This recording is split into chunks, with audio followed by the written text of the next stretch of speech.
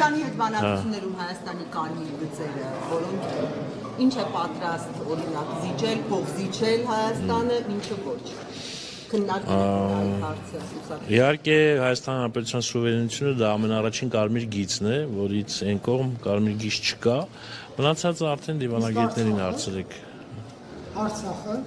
Արցախի ժողովրդի անվտանգությունը, այո, կարմիր գիծ է եւ դա մեր համար մեր ժողովրդի անվտանգությունը, որը որ պետք է առաջնային դերում լինի, այո։ Ժողովուրդ ջան, մնացածը դիվանագիտական հարցեր են, ես հիմա չեմ պատասխանում այդ հարցերը։ Ձո, Էրիկա։ Ես չեմ ծանոթացել իրականության, խնդրեմ։